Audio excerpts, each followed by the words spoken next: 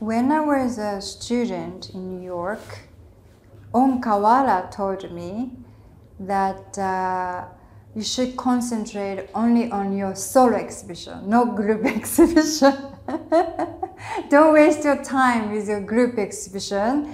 Really focus on a solo exhibition, and that's how you can show your world. And I think that's very true, and I would like to pass on to the future generation too.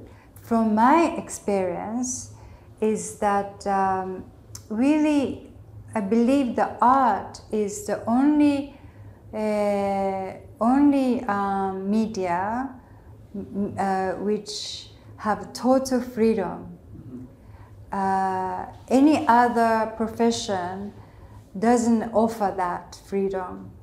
And I think that's really uh, relevant for me personally uh, because you can do whatever you want, however you want, and uh, you can also liberate yourself as well. That's how you liberate yourself.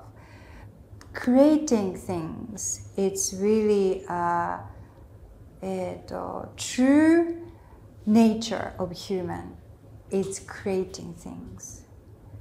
And uh, uh, if you stop creating things, then you no longer, I mean, you're not really using the, the most uh, ability of your being. It's a fundamental act. We are creating our world by using our creativity, creativity.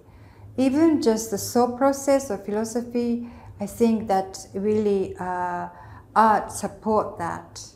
Our future it's really dependent on our art. So most important things. It's very much connected to the soul.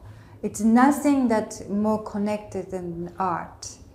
Since we have a language like a you know the bub, tower Babel that we cannot really communicate sometimes because of the language barrier or culture barrier but art transcends any of that because speak to your soul directly, that means we could communicate soul to soul through art. The key point is to really uh, uh, center into yourself and believe in it because the, that's really the like uh, the structure mm-hmm. Uh, that's the, really the key just to believe in yourself because if you do believe in yourself, then it's some you can see what the vision will come, and uh, that's really the key, and the freedom.